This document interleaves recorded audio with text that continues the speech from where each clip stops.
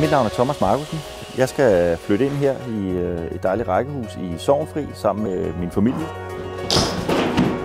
Vi har købt et øh, dødsbo og har startet med at renovere det helt fra bunden. Og det vil sige, at, øh, at der er skiftet tag.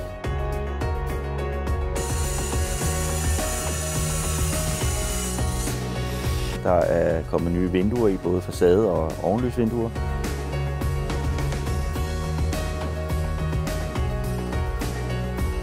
Der er nyt gulv, der er kommet gulvvarme i, der er ny el, og der er kommet nyt køkken og nye badeværelser. Lige nu der er status, at øh, vi skal flytte ind om en uge, og det betyder, at øh, mange af de store ting er færdige, øh, og der mangler mange små ting, og der er stadig afdækket, og, øh, og det er stadigvæk en, øh, en øh, byggeplads. Men øh, lad os gå ind og se, hvordan øh, det ser ud.